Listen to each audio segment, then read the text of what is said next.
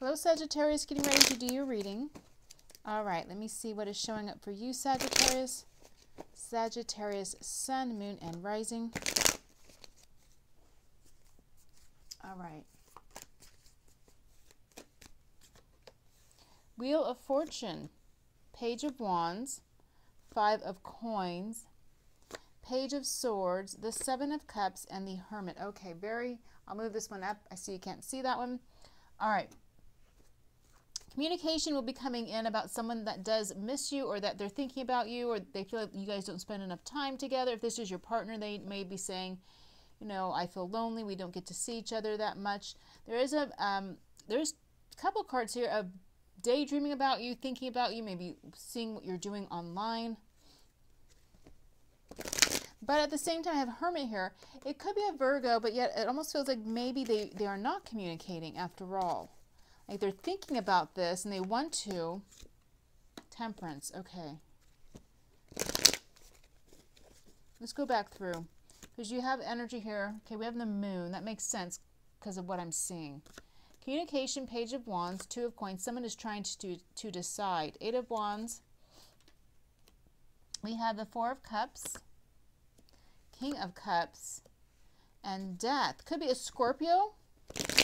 What is coming with death? King of Wands. Oh, wow. All right, I like this. That's not you. I'll tell you what I'm seeing here. What is Temperance in the center? Chariot, yes. A Magician. Someone, Nine of Cups, is taking action. Someone you have been waiting for. Moon tells me there's a lot of things. There's a reason why this person maybe isn't communicating with you. Um, could be so many different things. It's almost like it's kind of a catch-all to me right now because it can represent fears, things going on behind the scenes. Um, but Page of Wands, now this could be a fire sign. Could be water too, but I'm feeling these are energies of the, of the person. I feel this is someone who has been kind of admiring you from afar, or maybe you guys have been communicating, but they're not really telling you how they feel. They're being a little bit bashful, a little bit shy. They haven't really stepped up but they are missing you, five of coins, or you could be missing them. This could represent you thinking about them, thinking, gosh, I wish they would talk to me, wish they would say something or ask me out, or we could move forward, you know. This could be like a little bit of texting here and there, a little bit of communication at work, but I see like opening up and just going. Because this person is kind of staying in the shadows, but they're going to end, they're going to quit that. For whatever reason, they're going to change with the death. And then they come out as the King of Wands. Now, I know this is your energy, but as or your sign, I should say, but as an energy, that's my favorite here because this is someone there's passion, they're, um, you know, they have love, but there's passion, they're going to go for it. They're going to get out of their comfort zone or their shell and, and come talk to you and make that move finally. Because here, this is like someone daydreaming about you, thinking about you, in love, but not really, you know, making the move, not really taking the action they need to take. So again, movement chariot with the magician, like getting things going, about time. Because temperance, I mean, there you are, just sitting there waiting. So you must know this person likes you. You must, you know, you guys probably, you know, flirt at work a little bit or wherever you go, or you're already communicating, depends on where you're at. But again, Page of Swords, I feel like they were kind of spying on you a little bit here and there. Maybe it's also kind of cut and dry communication. Wasn't very flirtatious or fun. But Four of Cups finally getting that communication, that offer that you have been waiting for. So very clear message. So if this is someone you're waiting for, it should should come in fairly quickly. They might be traveling or something with the hermit. Not sure why it's coming up as the hermit.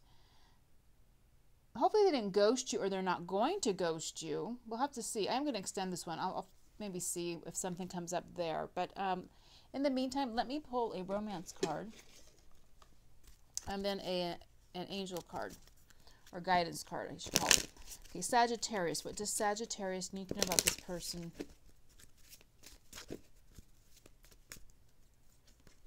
Stay optimistic about your love life. That makes sense. And underneath the deck is very soon, which also makes sense. And let's pull a card from the guidance right now. Whoops. Let's see. Sagittarius. Messages for Sagittarius. Okay, now that you have asked for help, be open to receiving divine guidance and assistance. You deserve our help. So you can call on the universe, you know, call them angels, guides, whatever you want to call them. Um, ask them to help move this along if you've been waiting. Tell them you want them to help you because that's how they can come in and help. So maybe that is kind of what's going on here too. Maybe you help push this forward. Let me clarify moon. I'm going to see, what is the moon energy? Okay, emperor, wow, okay. Could be an Aries. That's not really someone who is shy. The emperor usually is not shy, but um, could be someone that really maybe like if they were a boss of yours, they can't come forward, they can't communicate the way they want. They may be busy. There could be a lot of stuff they're doing though also. Maybe they're gone traveling for business or something. All right. So I'm going to leave it here. I am going to extend it. I'm going to put the link below. Oh, there you are under the deck as I was shuffling. All right. We'll see what shows up. Have a great week, you guys, and take care.